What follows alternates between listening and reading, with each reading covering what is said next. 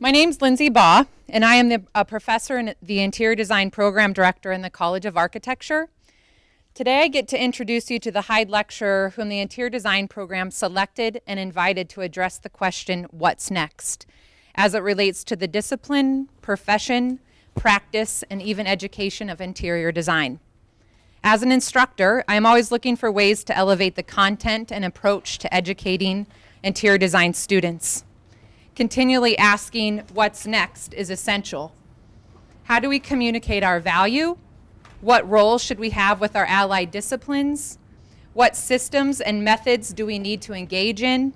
How do we continue to prove our relevance and our impact?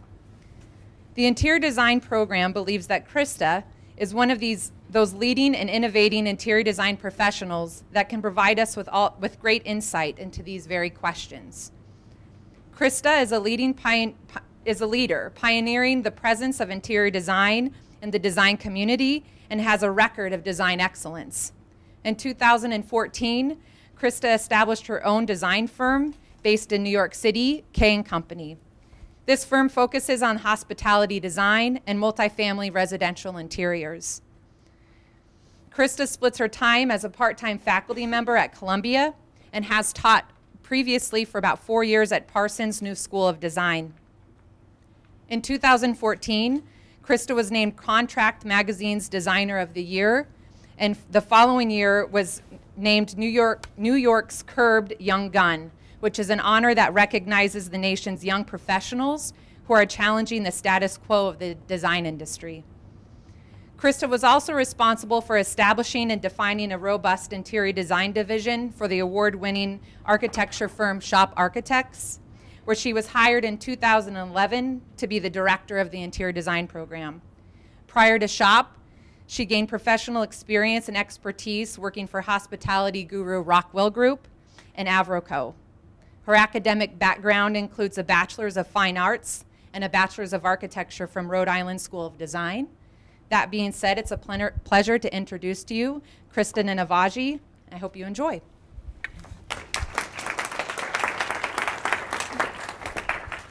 Thank you. Hey guys, um, thank you for inviting me. I've never been to Nebraska before, so it's always a treat actually to do lectures like this and get to see other parts of the country and see all the, the great work that everybody's doing in design schools all over. Um, so the title of the lecture, 2020 Future Focused, in a sense it's a lot about where I've been and where, where I'm going. So kind of the whole what's next. And you know, as we're approaching the year 2020, where, where am I going to take myself? And where have I been? Um, but before we get into that, I want to just tell you about a project that I'm really excited about. Um, we did this over the summer. This is, um, I, we called it Pop-Up Pool Party. It was done um, on Roosevelt Island in Manhattan. It was a pool that looked a lot like, I don't know, the 70s. Um, it was kind of, it had this beautiful view of Manhattan, but it was pretty dreary looking. So the client actually wants to tear down the whole pool complex and uh, it's part of a residential complex of four buildings. There's about 200 units per building, so it's about 800 units sharing this one beautiful little gem um, beautifully situa situated on the East River with views of Manhattan, but it just, it doesn't live up to what it could be. So we didn't, we were not hired in time to actually tear down and redesign the pool house for this current, or the last pool season. So we said, okay, well let's do 10 things that are not going to cost very much money and transform this space for at least this summer. And we're gonna make it feel like there's a pool party happening here every day. So this is where, what it looked like when we started.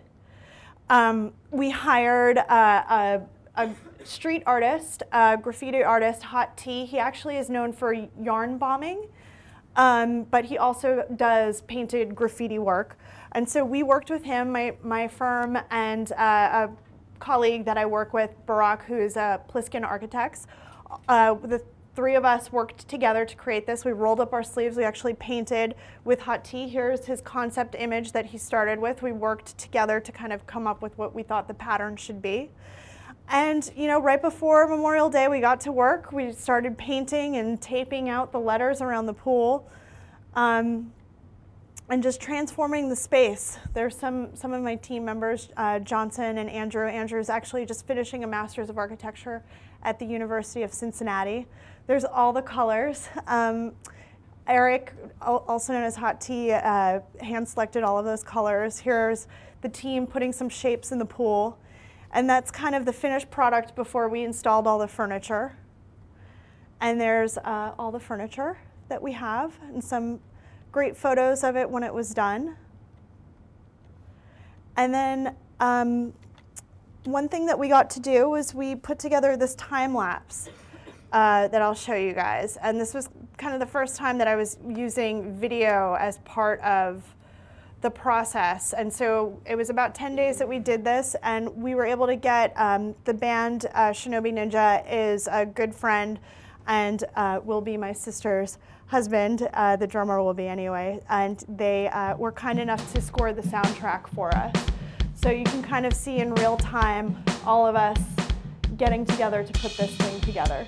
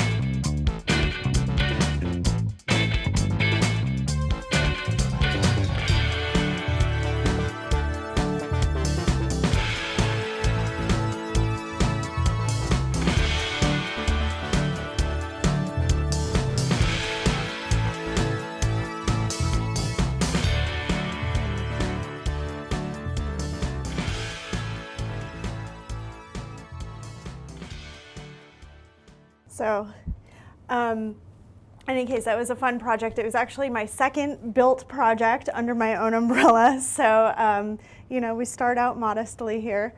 Um, but it was really, it was a lot of fun. And just to speak to the power of design, so all of the work that we did, and there was a lot more stuff that you didn't see in that video, it cost us about $90,000. They more than double made that back over the summer. So they increased the revenues from that space by almost $200,000 just because of the design. Um, and all of the social media hits that they were getting from it. And people have taken interest in the property as well. Okay, so going back. So I have an, a degree in architecture. Um, but I will say that my whole career has been about aligning my interest in architecture and interior design, trying to balance these two things. Um, you know, I like to think of myself as an architect that just really has a, a fascination with interior spaces. And the thing that I loved about my architecture education was kind of these five principles that you know that I, that you are taught in architecture school logic, the iterative process, efficiency, abstraction, and then linking concepts with pragmatism. But I would say that what makes great architecture does not necessarily make great interiors, is what I've learned. And I think that you need to break those rules a little bit to do great interior spaces. And that logic is really taken over by the sense of emotion. efficiency kind of goes out the window. It's, it's okay to have more. And then it's really about concept and experience um, and, and being less about function. Um, what do I mean by that? Uh, so logic and efficiency. Let's say you had a corridor that you needed to plan out. Typically, if you know an architect might lay out a, a long corridor, which we have plenty of them, they might lay out the flooring and the materials and finishes in this fashion, maybe even the stairway. It's very organized, very efficient.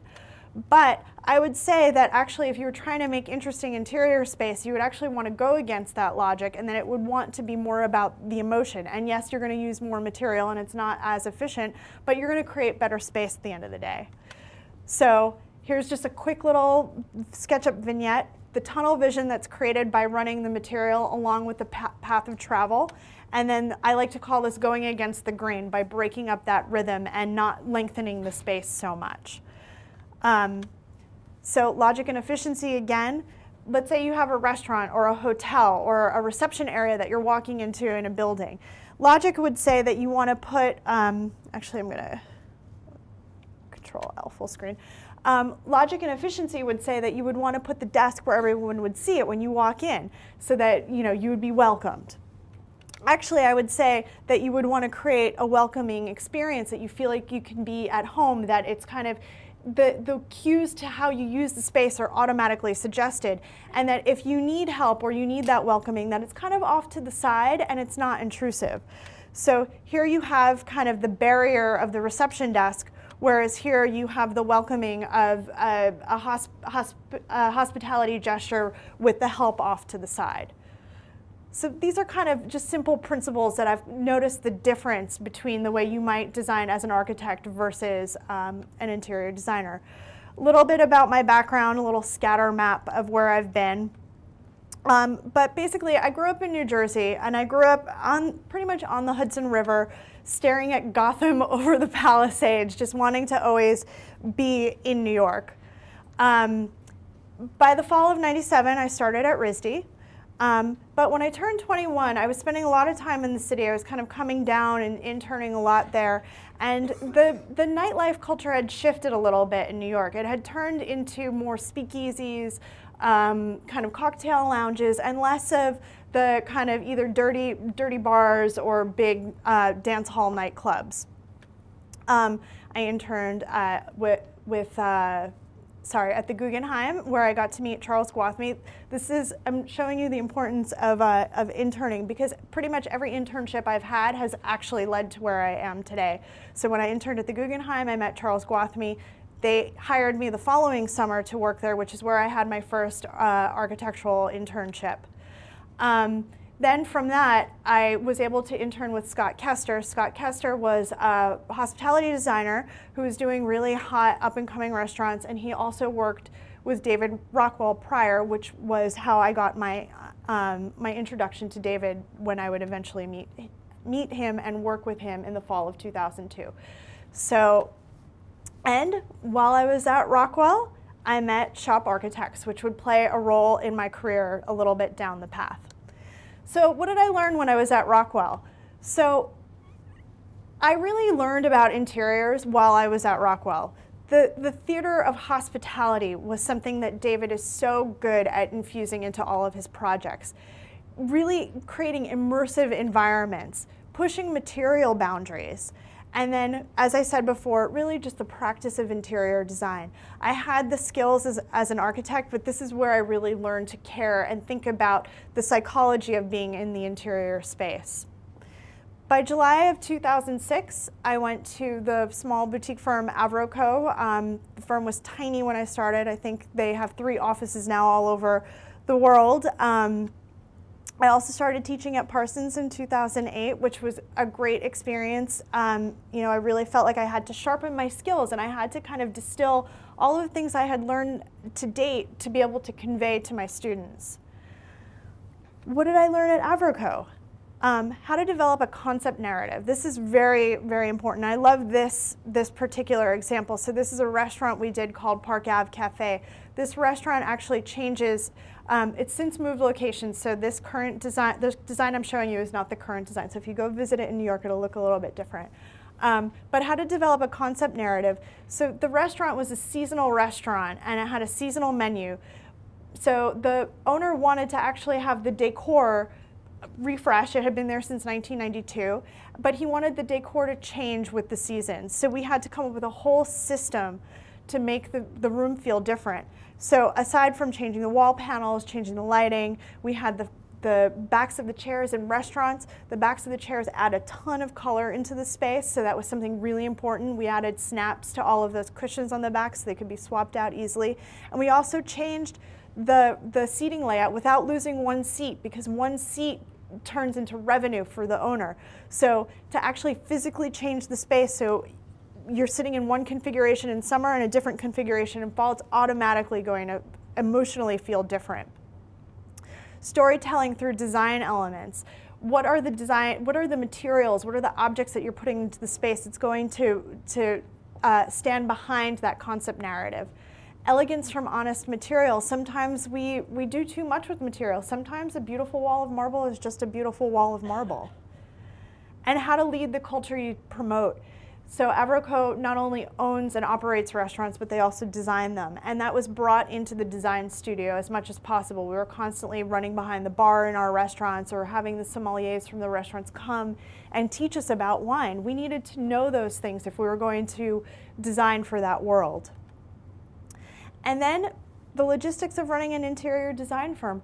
Honestly, when you're in a small firm, you wear a lot of hats. And so I took on as much responsibility as I felt capable of, and the partners were so you know, busy with everything, they were more than happy to give me responsibility. So I really started to see how do you write proposals? How do you hiring? I started to become in charge of hiring all the interns that would play later on into um, my role at Shop. So, you know, it's really where I kind of learned those skills. I would recommend to everyone here to when you're looking for jobs, really think, do I want to work for a, a, large firm or a small firm? And then maybe work for both, see what you like better. Your answer might surprise you. So by January 2011, I had become friends with the partners at SHOP. Uh, we had actually started a softball team together, um, as, as legend has it, when I was at Rockwell, and I started another one at, um, at AvroKo. And so through softball, they, you know, we kept having these talks in the bars after drinks they wanted to start interiors and they felt like I was the right one to do it, so I joined them in 2011. Um, at this time, I also won uh, the Young Gun by Curbed and Designer of the Year from Contract Magazine. So what did I learn at SHOP? Challenge the design problem as a whole. SHOP is very good at not just looking at what's what the design problem is, but looking at everything that surrounds it, whether it's the urban context or or even just the pure business of, of what, what the task is at hand. How, how is this project going to make money at the end of the day? Where is the money coming from? Believe in the process, be fearless, and discover a better solution. Often, not only I, but Shop was a young firm, were challenged with these giant projects that we had never done before. And in a way, we always said that that was our greatest asset, that you wanted to hire us because we didn't have experience doing an arena or a law firm because we needed to actually go in naively and understand what all the problems are and we were going to be looking at it with fresh eyes and we didn't have a formula to solve the problems that were at hand. There's no hierarchy when it comes to good ideas.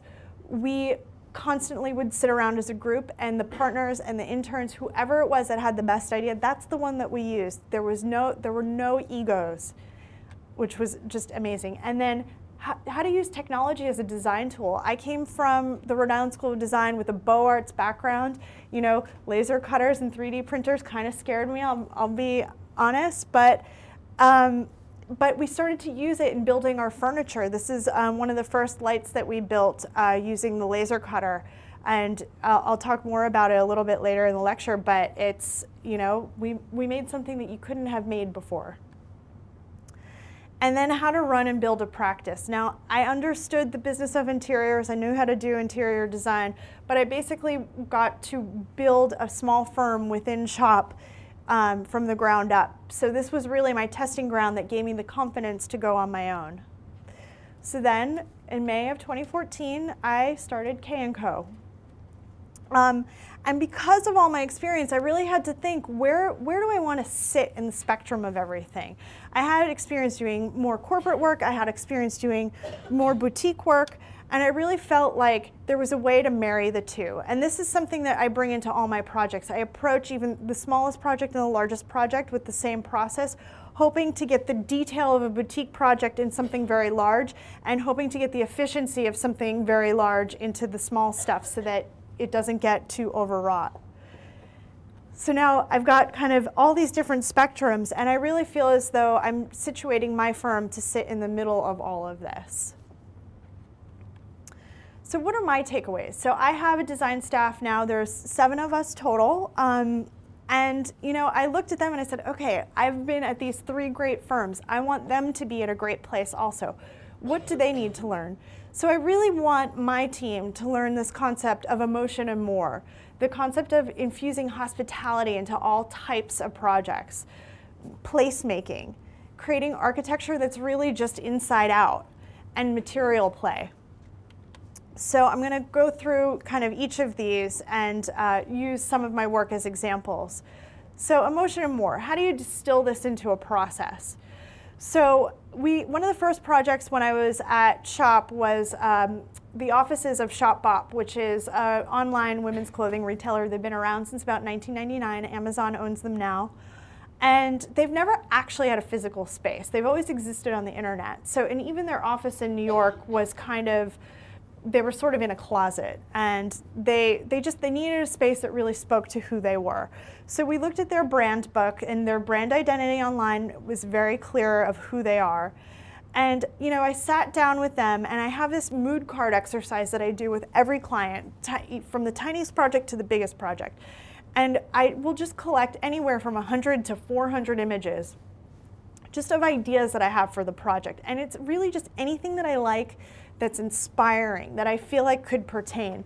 And we'll sit around a table for an hour. We'll just spread these things all out with uh, Sharpie markers, we'll make notes, we'll note colors that we like, materials, forms. If, if the client really has a bad reaction to something, it's great. You just take it off the table and it's not there and you say, I hear you, it's, this is off the table, literally. And so we'll take those mood cards and then we'll start to create a concept story from this. And this is what I was talking about before that I learned when I was at AvroKo, is really how to create this design narrative. The design narrative is not style. It's not saying, oh, it's French country. It's creating something new that you can't really title. And, you know, the, the formula that I use for this, this is kind of a standard layout, is you'll have a tagline and you'll have a place reference, a character reference, a detail reference, some supporting imagery down here, and then a quick elevator pitch so that when somebody says to you, oh, what's this project about? You can say it in two to three sentences in a succinct way. So this was uh, the concept story for Shopbop, and it was they wanted to have this kind of down, downtown chic vibe. They wanted kind of the urban bohemian who's their client, but yet they wanted a ladylike touch to it. So this ladylike vintage. Um, so we really tried to create the home where we thought the Shopbop woman would live. Um, once we kind of have that design concept, we will follow up with mood boards. Usually these are, are tied to different spaces in the project, and what these mood boards are, they, they start to uh, speak to color, materiality, and style. So this is where we start to pull all of these things from, and they tend to be somewhat, maybe somewhat consistent, maybe somewhat eclectic. Um, you never know. It all depends on the client and this process that we're going through.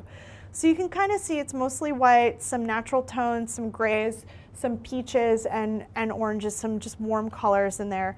These are um, a, an actual material board that we used for the space. So you can kind of see the reference between the, material, the mood boards where we started to when we were finally pulling materials, there's kind of a, a, nice relationship. You should be able to squint your eyes between your mood boards and your material board and see the same color palette. Um, so just a quick note about programming. So we were given this floor, two floor plates um, in Midtown Manhattan. It was kind of an old theater company, law office type space. It was not, it, it didn't have that downtown feel. It was kind of done. It had wood floors and gyp walls everywhere. Um, budget wasn't huge, so we didn't want to spend um, a ton of money. We tried to keep as much of the of what was there as possible, but we, we tried to still reprogram the space in a way that made sense. So a couple, couple moves that we made. We, um, reception desk is off to the side. This is very tight here. This is barely even 10 feet. So we just made a nice seating moment at the entry with a nice backdrop. And then the receptionist is off to the side so that she's not kind of on top of you when you walk in, but she can still see everything that's happening.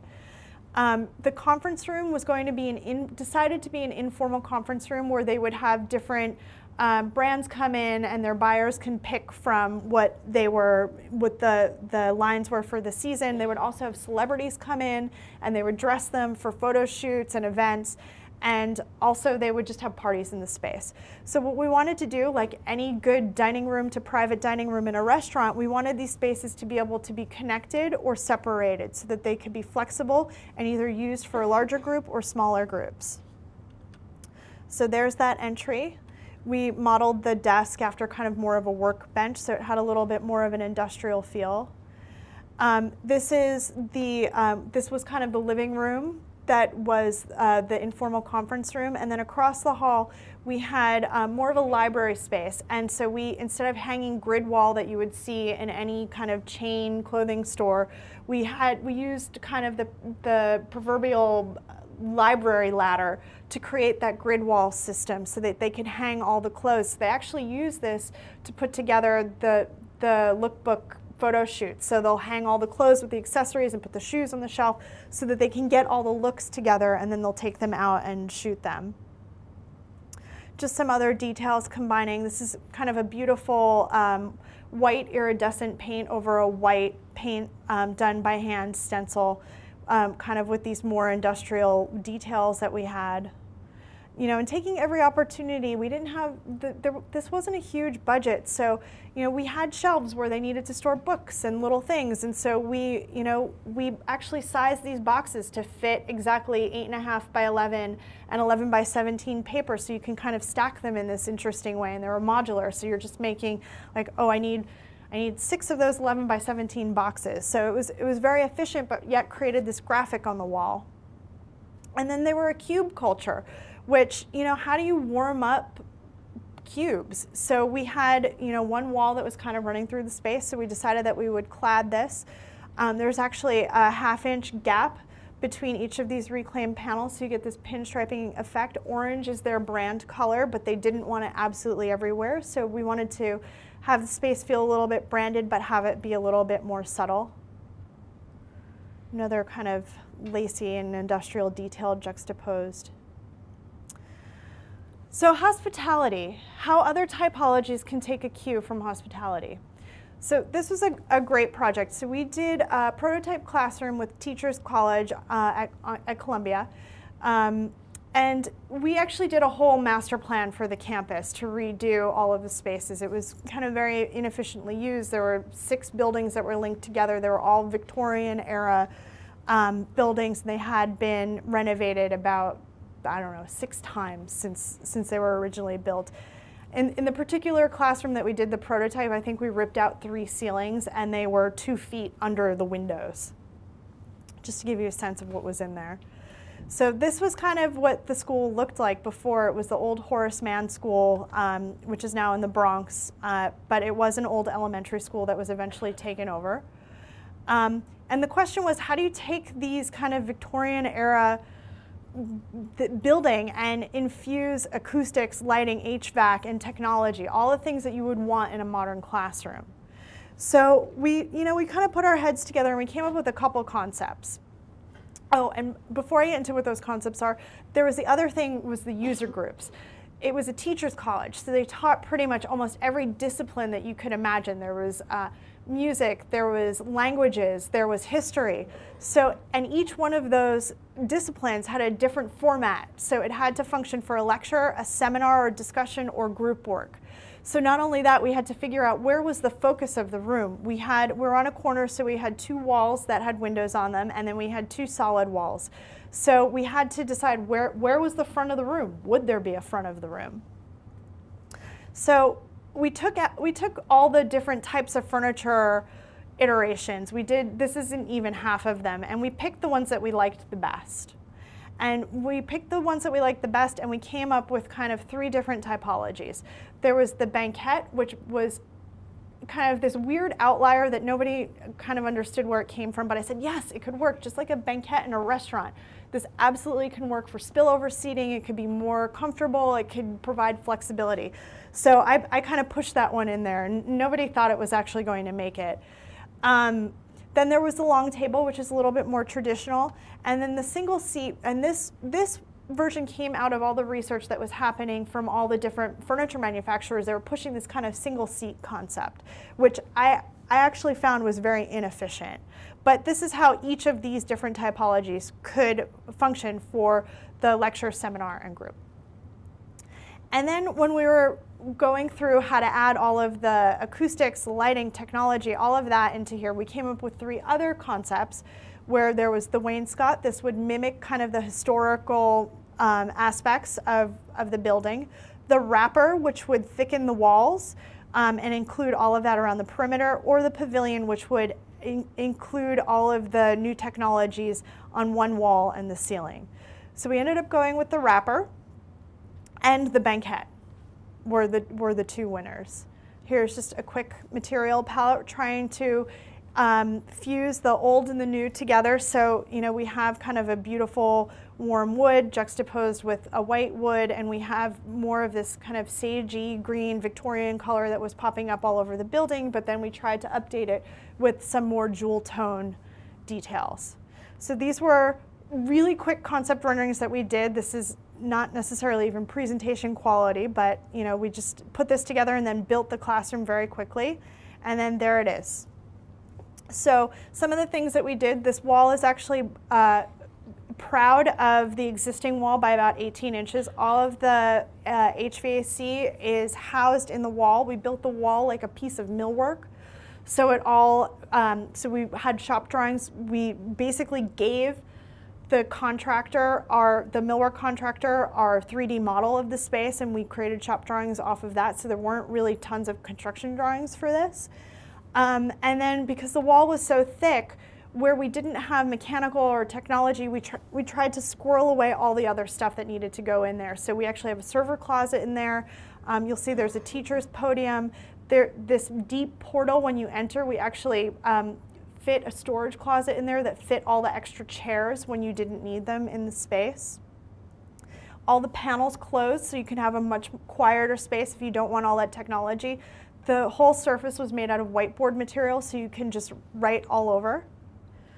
Um, and then the banquette was a huge, huge success. When we finally started doing um, studies and observing how the classroom was being used, the first thing that everybody noticed is that when students would come into the space, they would sit at the banquette first. The banquette would fill up before the seats in the middle of the room.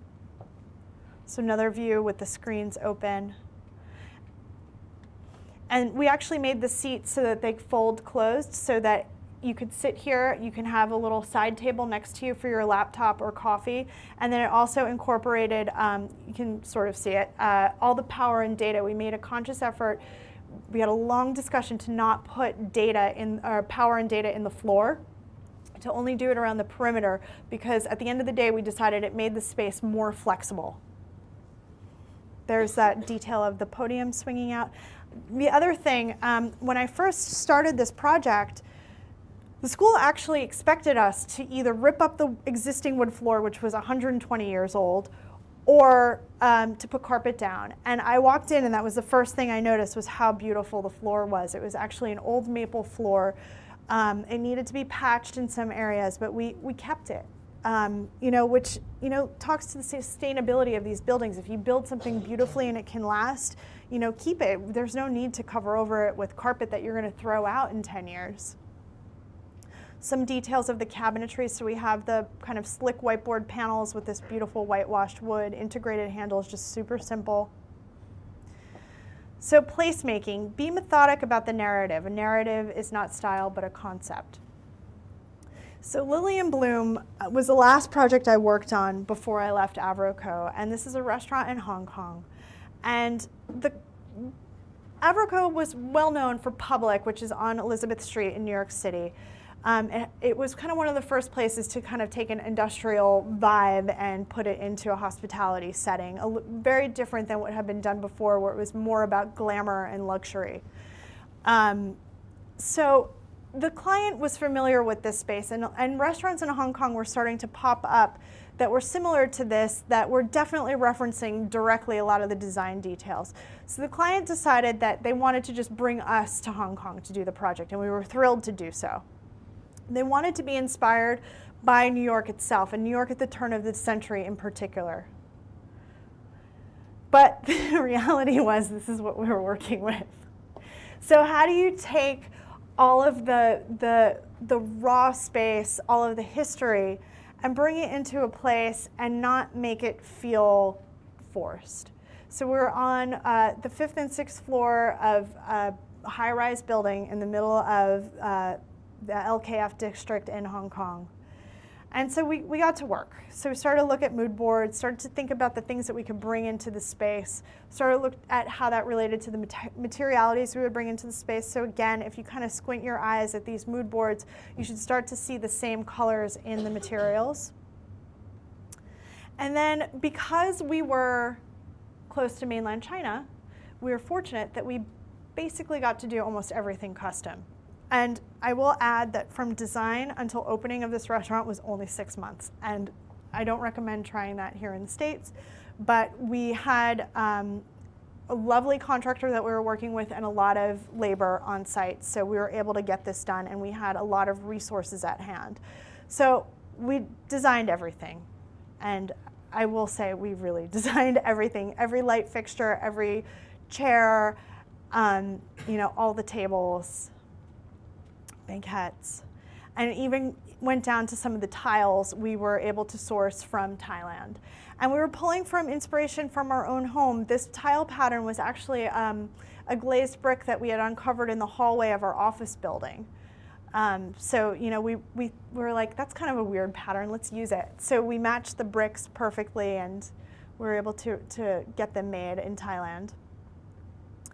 Um, and then there wasn't a lot of space, so we were using what we had as design elements. Um, you know, there's, uh, this is like our wine station, and they didn't have room for glasses, so we just made a big feature out of the wine glasses. Um, this is a secret uh, cigar bar, which is pretty popular in the area. Um, and actually, each of these panels, these were kind of inspired by shipping containers, where we would have all these stacked crates, and you know, we kind of glammed it up a little bit with a kind of crossbar in brass. Um, but there's all humidors behind here. So this is actually air conditioned space behind each of these panels that's uh, keeping all the cigars fresh. And then this is the bar upstairs on the sixth floor. This is that first light fixture that I was showing you that goes um, down to the atrium space. You can kind of see a little sneak peek of it. Uh, this is a private dining room or private lounge. So actually these tables flip up and open and can be at dining height. The legs kind of unfold. And the light can actually swivel so that it's centered in the room so you can dine here um, if you don't want to use it as a lounge. So, and let me just point out a couple details in this shot. Some of the things that we did to mask kind of the awful windows that we had, so we just, we kept the existing concrete um, and just polished it up. But you'll see the, those windows are still there and we did things, just tricks to kind of not necessarily deny the space, but yet just to mask it a little bit. Um, you know, we raised the banquette a little bit higher. We have some foliage in here. We added um, a window treatment and we also lowered the soffit under the seating where it wasn't important to have height. So really, you're just getting about uh, three feet or so of that awful window mullion, so it almost even goes away. So architecture inside out, blurring architecture and interiors. So when I was at SHoP, I was fortunate enough to work on the Barclays Center in Brooklyn. And this was the first project where I really got to be embedded with the architecture team to a point where that we blurred the line between the, where the, the quote unquote architecture and the interiors um, met. It was much more seamless. And so you can see, and I'm going to point this out in a second, just notice these ribs that are on the exterior of the building, um, the vertical ribs. So what was really inspiring about doing a building like this was that we were in the city and we very much wanted you to feel like you were in in New York, you were in Brooklyn, you were there you couldn't be anywhere else. So we loved kind of the patterning and the streaking that you would get on a rainy night. And this was really a lot of kind of the color inspiration for the building. And even, you know, all of the black and white that we have in the space, you know, taken from old uh, photos like this. And it really wanted to feel like, um, like you were going for a night out, that this wasn't just a sporting event. Um, Gregg Pasquarelli, who's one of the partners at SHoP, is famous for always saying sports is like theater with an unscripted ending. And so we really wanted it to feel equivalent to you going to a Broadway play, but you were going to a sports arena. So it really had to have that kind of excitement of nightlife when you were going there. So quick material palette. So there's and I'm going to talk about this a little bit more, but when you're doing big projects like this, it is so hard not to go material crazy. You want the spaces to feel different, but at the same time, you know, when you're having so much square footage, you don't want to be managing 200 different types of materials. So we really tried very hard to restrain the material palette and really only change maybe the finish of something. So if something's black, it's white somewhere else. The other thing that's really special about the architecture of this space that we wanted to pick up on in, in the interiors is that this is a very unique condition where when you're on the in the concourse or in any of the private suite areas, you actually can see out into the street. This almost never happens in, in many other arenas or stadiums like it. So you you go into these places and you're completely unaware of your context. And we wanted to just enhance that feeling and not deny it. So here's a view of the context, or sorry, of the main concourse. And these are those ribs from the exterior of the building. They actually track in off the building and become this light datum on the interior and it creates this false ceiling. With so such a large concourse, you're not going to put a ceiling in all of this. So you can see there's all this junk in here.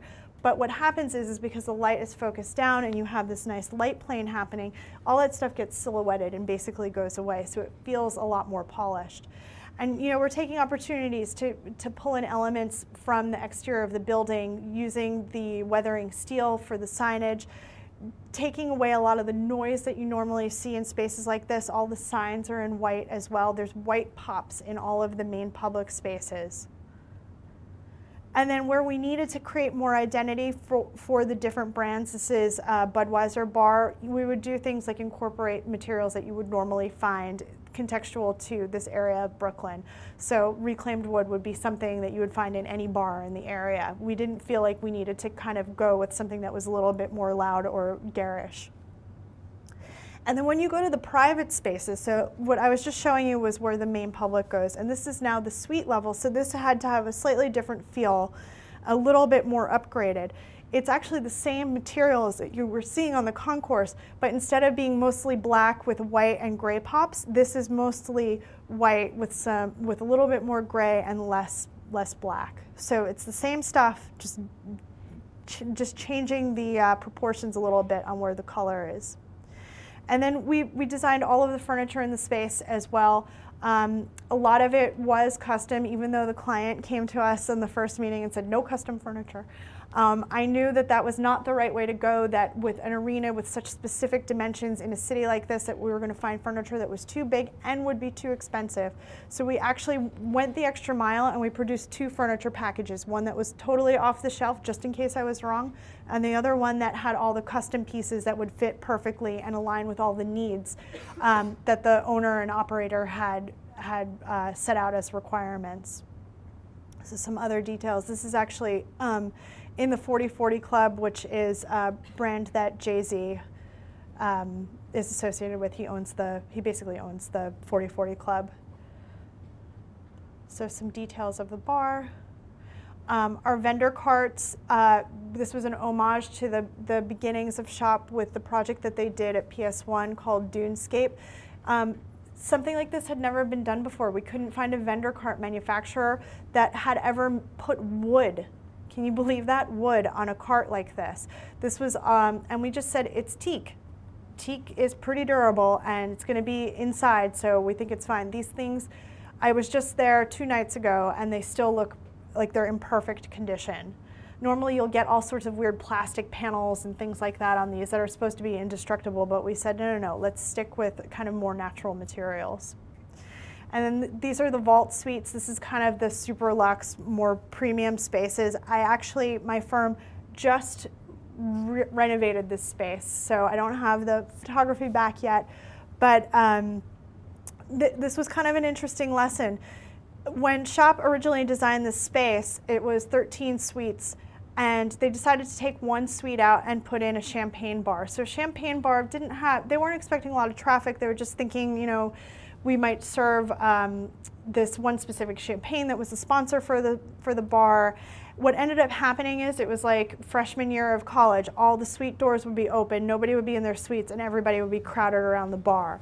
So what they, what the um, Bar the Nets and the Barclays Center decided to do was they expanded the bar. So they went from this little 10 foot bar to we now have a 40 foot bar in there, and they demoed half of the suites, and we put in beautiful seating in here.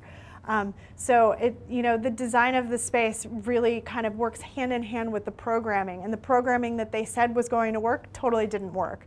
People use the space in a, in a different way, and we responded to that. We observed and we changed it. And then this is that light, actually, that um, I was talking about in the beginning. Um, so th there was a story behind this actually. We um, somehow this light got left off of everything, and it was in a really important space. It was one, in one of the premium spaces, but nobody bought it. It was in no one's scope, and so it was six weeks to opening, and I could only spend um, two thousand dollars max per light, and that was even mu too much. And it, that was with tax and shipping and all of that. And I knew I was going to have to pay a rush fees. It was not enough money. I know it seems like a lot of money, but it wasn't enough money.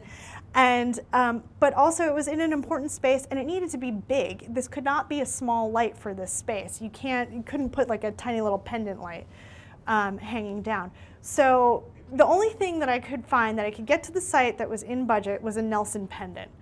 What, Nelson bubble pendant, which just would have looked silly in here. And so it pained me. So I sat down with one of my designers and I sketched something out and I said, can you write a grasshopper script to get this pattern on this light and can we figure out how to laser cut this um, in the model shop? And I, I've got a cord kit in my desk.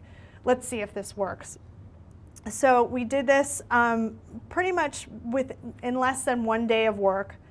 We uh, laser cut it. He actually put these tabs in here because he thought it would be easier to assemble but we like we thought it looked so cool Then we ended up maintaining it in the original design, so we actually have all of these gaps. And what he didn't realize, it was easier for him to build it when he was doing it on the laser cutter, but it was easier and cheaper for somebody just to tack weld at those points instead of trying to weld all of those long seams.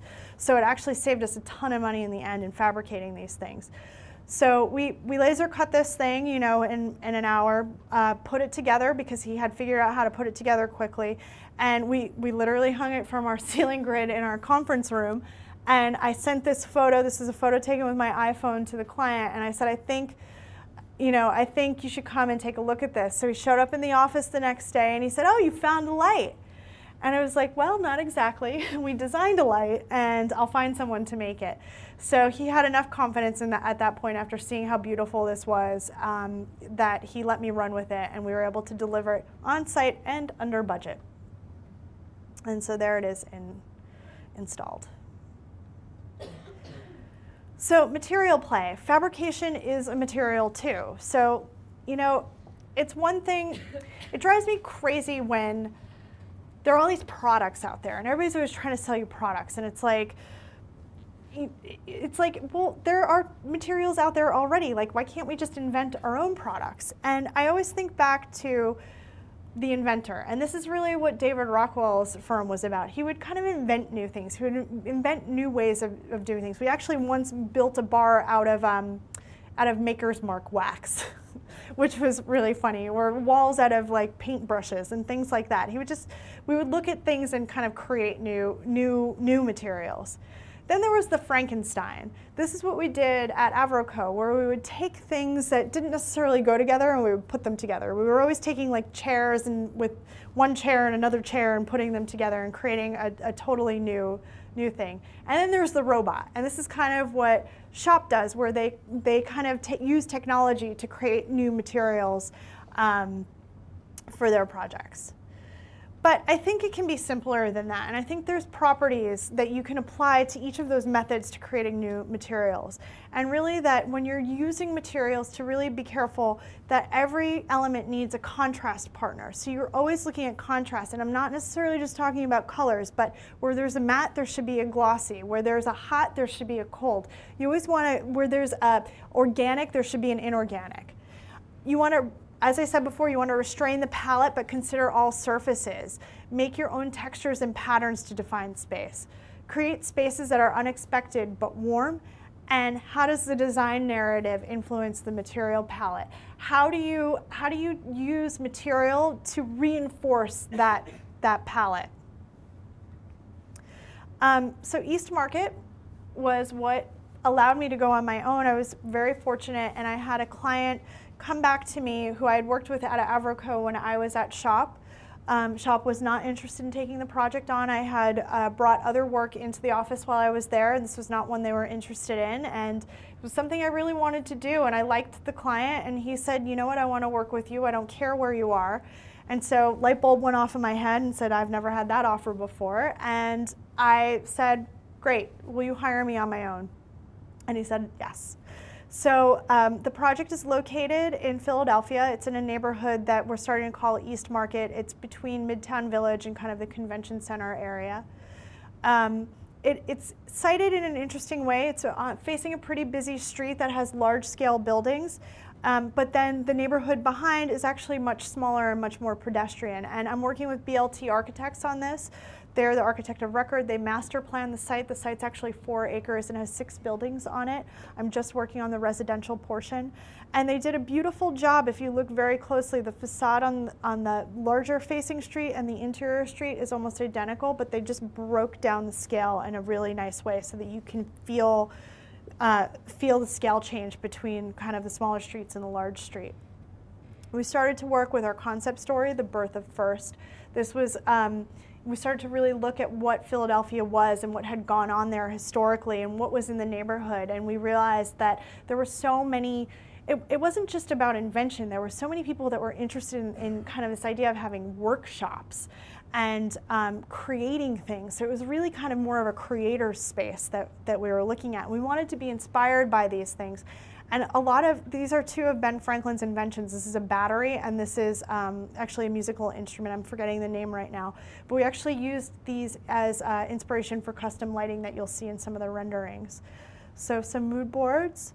And then just some details. These and this is um, under construction right now. I'm working with um, actually I'm meeting with the client on Monday to procure some cabinets, but some details and just trying to contrast concrete with marble. We have this big LED clock, the battery light that we have in here, this kind of beautiful um, screen wall that we're, we're putting back here. This is actually something that we used uh, Grasshopper again uh, to create this pattern. I actually built a mock above it. The client was not very convinced of it because the rendering uh, you couldn't understand the complexity of it from the rendering. Um, it's actually taking three different metals and putting them together. It's a powder coat, uh, bronze, and uh, blackened steel. And then a word about uh, programming. So because it's a residential building and there's lots of retail surrounding it, we basically got the worst retail space for our lobby because the client owns the building, he wants to give the best retail to the tenants that are going to pay money for it. So this is kind of where we, we ended up. And so the idea is that you kind of walk in, there's a, a, vestibule moment, the desk again is off to the side, you're, you're walking straight towards that feature wall and around to the elevator This is the path. We've also incorporated something um, towards the back here. There was, there's amenity spaces throughout the building, but there was this tiny little requirement for like a 300 square foot business center. And I said, what do you mean? What's, what's a 300 square foot business center? They're like, oh, you know, it'll have like a couple printers in it and like a couple workstations and maybe a conference room. And light, light bulb again went off in my head and I said, oh, okay, yeah, we should put a co-working space in here because what you're gonna do is you're gonna get a bunch of people who are in their early 30s who are moving into this building, a lot of whom are gonna have jobs where they can travel or they're gonna work from home. And if I am living in a small apartment in downtown Philadelphia, like what better way to be able to come down into the lobby and pull up at a library table with my laptop and sit here with a cup of coffee, which you can get from our little coffee station right here and hang out in the lobby instead of sitting in my apartment all day if I'm not going into the office. And what we started to do with the way that the space was programmed, we really ended up with a series of rooms through the space. So you've got the vestibule, you've got the reception area, you kind of have this almost transept space with the coffee bar at the end that leads you into the co-working space, and then you have the elevator lobby mailroom back here. Um, what just what was planned for the space before I came onto the project. Um, and the architect had, there, I love working with these guys, but they had assumed that this is where the reception desk would be. So this is about um, 45 feet. So basically you're coming home at 2 a.m. on a Saturday night and your doorman is watching you stumble all the way through the, the hallway. So this it's uncomfortable. You don't want to have to walk that entire distance and have somebody watch you. It's like when when do you start talking to them? Is it when you go through the doors? When you when you're here? When you're right up the desk? So we felt like moving the desk off to the side improved the situation, and also improves the experience because by having that path of circulation, you're really just creating two rooms. It's one and two, so you can vary the experience by going in a little bit more. So the amenity spaces is kind of a new thing for Philadelphia. Uh, a lot of the buildings that are being built now have amenities to them, and it's it's a concept that's been happening a lot in New York, but um, the buildings are now just starting to do that here. So this is kind of a quick view of our demo kitchen. Um, if you wanted to have a dinner party for you know 20 people and you didn't want to fit them all in your tiny studio, you could um, rent out this space. There's a full kind of chef's kitchen in here.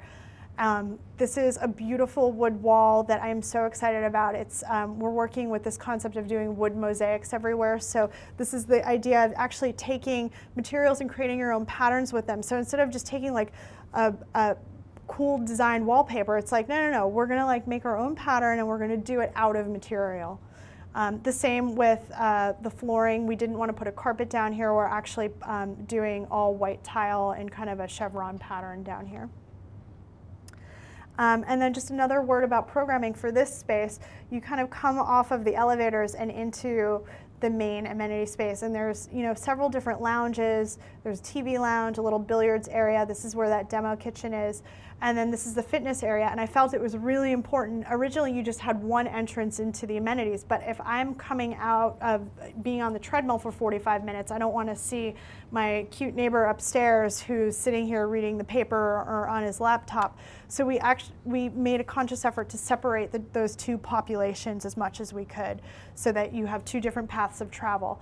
And then in the amenity spaces itself, we actually have kind of these five different rooms that we've created and they all have sliding doors so they can either be combined. So you could take this lounge space and the demo kitchen if you want to have a big party or you can have kind of everyone in this lounge space here or this this uh, billiards area can go to the TV room if it wants or it can go to the lounge space.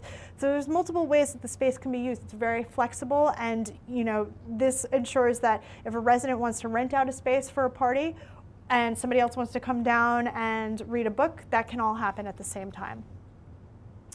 Um, corridors have this kind of nice unexpected moment of having some natural material in the corridors. We're using a very traditional beveled um, panel door where we're going to paint a little highlight in there so it has like a nice color. Um, custom lighting that we're doing that's sort of somewhat um, inspired by a bicycle wheel. And then the interiors, um, the vanity itself was based on the concept of, of a workbench again. And, um, and then the kitchen really trying to express the natural materials of the space. So they were, um, this was kind of a really fun project for me to work on. I really feel like I got to flex my, my own design muscles.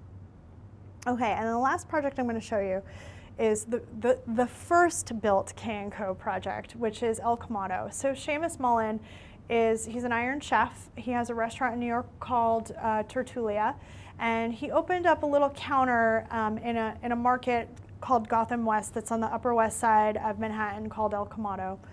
And he wanted to open a second outpost that was more of a standalone. So um, here's Tertulia. And so we had this space. This is just a Google Street View image. It was next to a very loud and noisy bar. And so we wanted to kind of create um, you know, a more consistent vibe. So we tried to mimic a little bit of what was going on, but yet kind of have our own identity. Um, this was done on a shoestring budget, so we just, you know, did a few test renders just to kind of have the confidence to say, okay, yes, this is going to work spatially. Um, this is actually the plan. It only has 34 seats in it, uh, and the concept was that it would be a butcher shop by day, and that it would be a tapas bar by night. So we actually are seating people in front of the um, deli cases. And so here it is in its glory. this opened in March, and sadly, I have to say, not for the not for the design. It is um, now closed as of last week. So that's how how cutthroat the restaurant industry is in New York. So some details. So this counter actually slides out to make um, the bar counter continuous. But I will say that coming full circle and getting to do kind of a nice little jewel box of a restaurant project like this uh, has really kind of heightened my senses about where I've been and where I'm going. And what I kind of realized the most is that I really just, I'm still in it for the great parties. Thank you.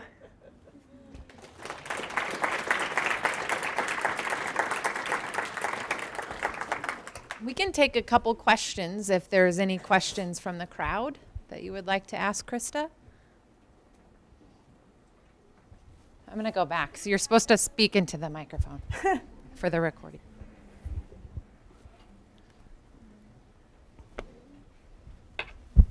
How old did you say you were when you had your first internship? Um, that's a good question. My first first internship would have been in the summer of 99. So I, I was just turning 20. Any other math. questions? Yes, yes, that's correct. I was 20. And my first internship, by the way, I had just started architecture school. I had no discernible skills that could be used in an architecture firm. And I actually, um, but I knew that I had to have that internship experience. So I actually worked at a gallery in town. And because I had that gallery experience was actually how I got the job at the Guggenheim. They were like, oh, great, you are doing architecture and fine arts and you have worked in a gallery before, come, come on. So. All of, I don't know if this works, but all of the custom furniture was like, who designed that? I don't know if that's with your firm or with SHoP or how did that all happen? It's kind of, it's always sort of been an all in effort. Um, at AvroKo, we had the luxury of having an in house furniture designer. And right before I left SHoP, we hired an in house furniture designer as well. But it's kind of a thing, it's done in a number of different ways. And typically, everyone who's working on the project will suggest pieces. Sometimes we'll look at old pieces that we find on like first dibs and things like that. We won't necessarily copy them. I don't believe in doing direct copies, but we might find something that's like um, you know, a beautiful Victorian chair, and we might update it by making all of the detail out of bar stock steel instead of doing it as, you know, like a carved wood or something like that.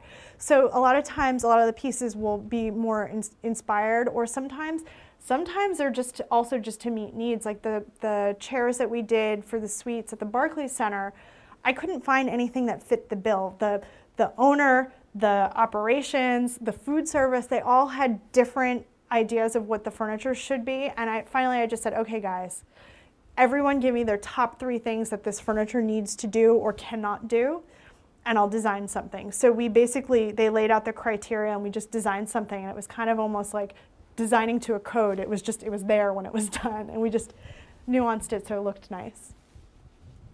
I think there was one more. Was there one more question over here?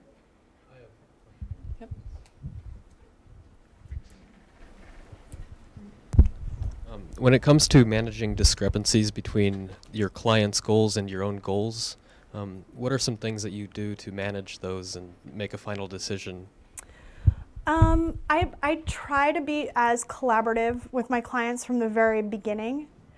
And, you know, and that mood card exercise is a lot because when you come to the table with your first initial sketches and they feel like they've already had input, that makes a huge difference. You already are starting to get their buy-in.